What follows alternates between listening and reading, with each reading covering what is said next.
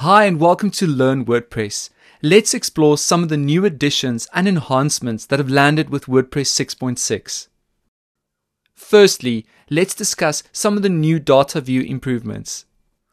When we open the site editor and click on Pages, we will notice a new layout was built for Pages. You can now see all of your pages and a preview of any selected page before you edit via a new side-by-side layout.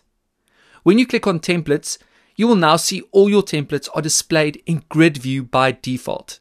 When you click on the options icon, you can still change the display to table or list. And when you change it to list, you can see all your templates and a preview on the right.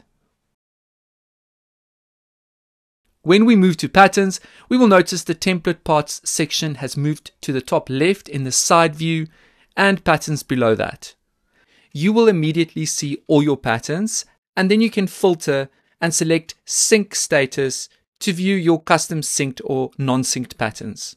In 6.6, we will also see a redesigned publish flow.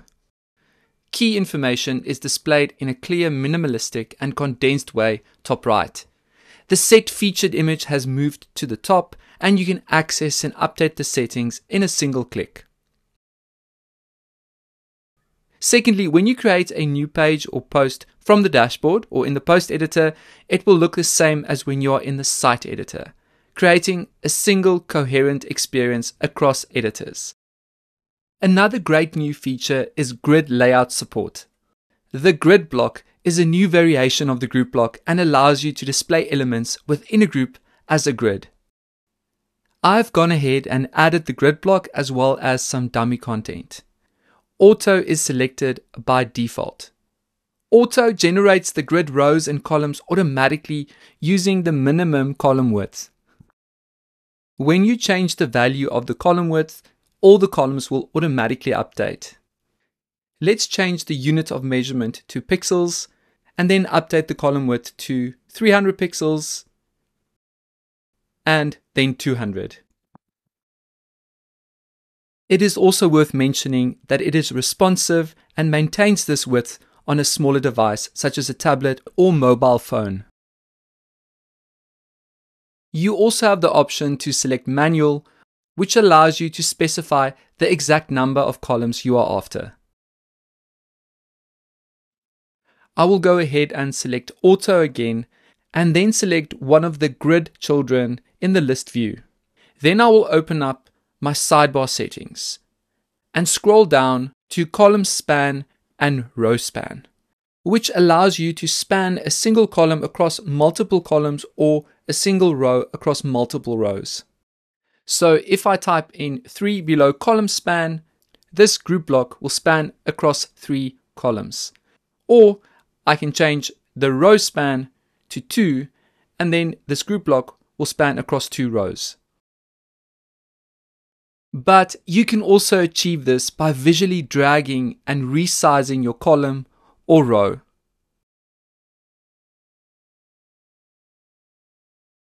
Next, let's discuss adding negative margins. You can now add negative margins directly in the editor for all blocks that support margin controls. When you set negative margins, you can create overlapping designs with ease. Let's look at two examples. In this example, I'm going to change the left margin of the heading block to minus 180 pixels.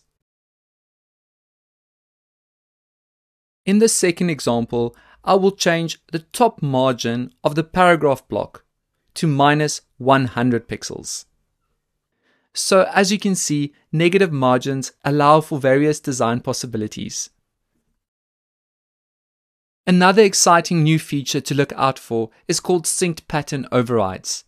As a reminder, a synced pattern is a reusable block that updates across all instances when edited. You can now add the ability to customize content in synced patterns while keeping stylistic control. So here's how they work. You can create a pattern centrally and then use it across multiple pages on your site.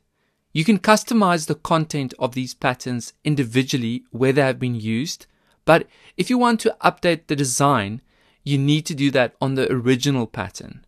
And once you make a central design change, it will update everywhere the pattern has been added. Let's see this in action. In this example, I've created a synced team member pattern.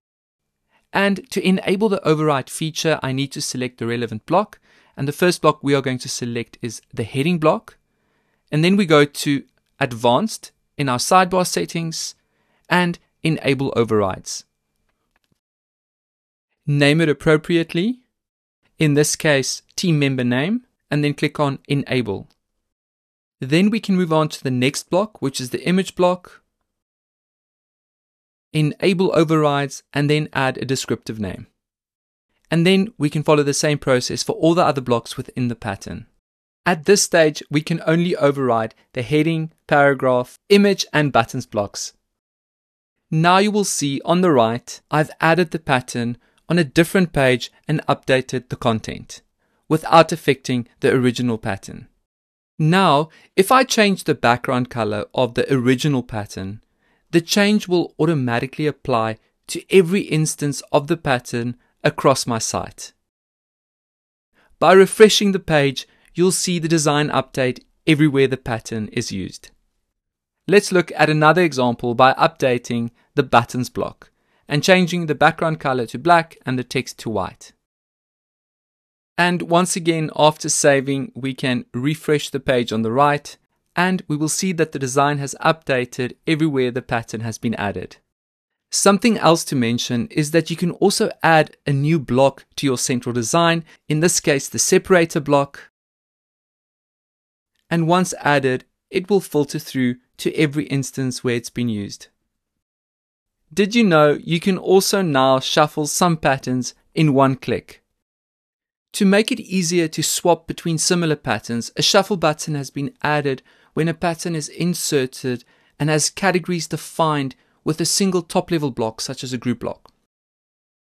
In this example, let's select a pattern from the About category. And then we can click on the Shuffle button in the block toolbar to view and select another pattern that meets our requirements.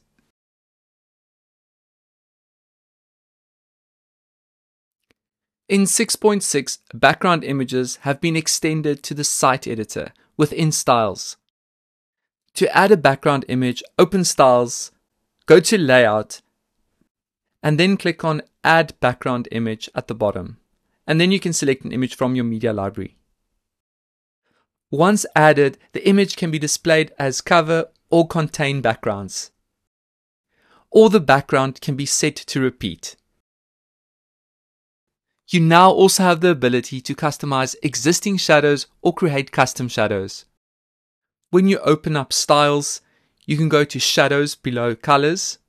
And when you select one of your existing shadows, you can click on drop shadow and then adjust it accordingly. Or you can go to custom and click on the plus icon and create a custom shadow. And of course, depending on the block, Shadows can be added below styles when you make your way to border and shadows. And then you can select an existing or custom shadow. Lastly, let's quickly talk about plugin auto updates.